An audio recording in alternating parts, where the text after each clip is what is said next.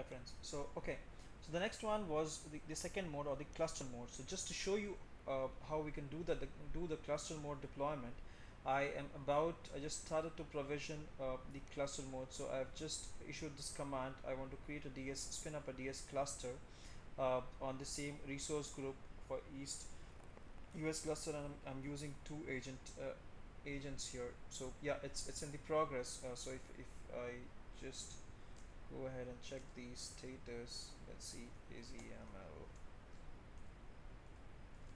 show.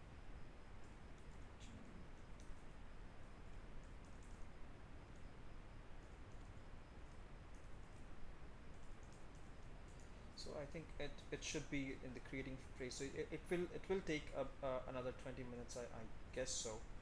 Um, and yeah it's it's in it's creating. So I will resume then so so sure. Okay I think yeah we, we got that provisioned. So again checking on the status. So the provisioning of the cluster environment is succeeded. Now let's try to use or set the context from the local onto the cluster so that we can do that by the let's say we want to set that to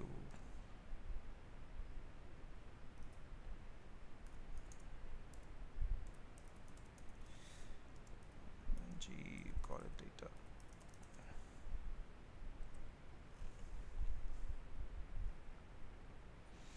So once set we will just point our image. So we had we had registered the model we had created the manifest and the image. The final service uh, needs to be created on to the cluster this time. That's the idea.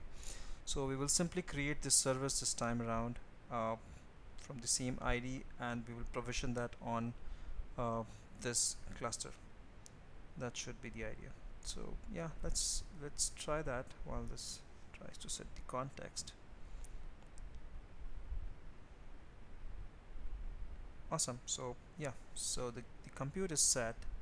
So let's just go back and try to take a look at the um, ID I think I suppose. That's that's something. Because this time we don't have to do the entire thing. Uh, and, and you'll see so. We will just have to create the real-time service uh, based on the image ID so that this this is the command so we'll have to use this one actually. So to do that we will have we'll need the ID so let's go back and take a look at the last image ID that was created in our local environment. So just go up and we should be able to drag that out. So this is the docker container and this is the manifest and this is the image ID if you see here.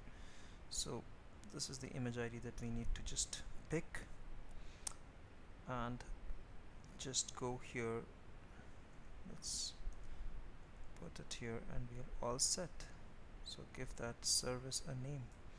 Let's call it product app or say to differentiate let's say product cluster app it's just a hypothetical name so that's it.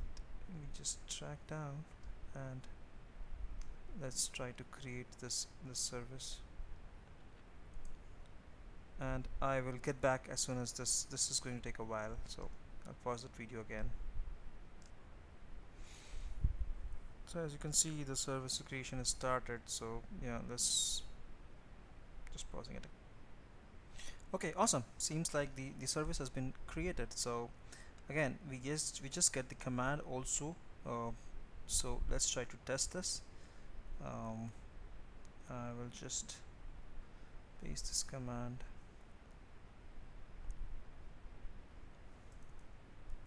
So that's it. So it's being created. So let's just go here let's test our service which we just created on the cluster.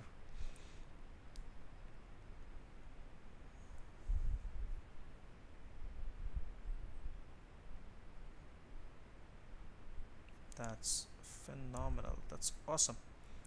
So we get the predictions right from the second mode and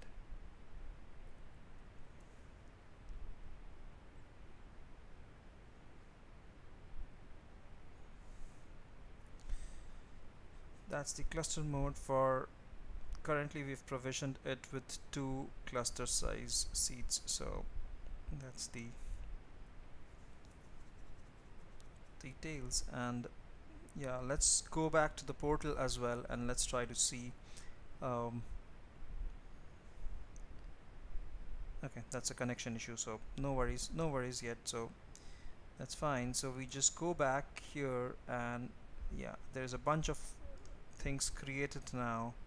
If you refresh we should find a lot of things added. So if you you'll find um, two nodes created and then the master node. Yeah that that's something that we can revisit but the idea was currently to just go to the model management uh, and take a look on the model management service. There you go there you go. So we have uh, the management model management a service being created and um, we have all the details of how we can use that or, or hit it. So um, and and the manifest and everything that is being referenced. So we have the URL and the and the key uh, which we need uh, basically which we need to to, to copy and, and generate it. So yeah I mean let's try to explore this further. Just give me a minute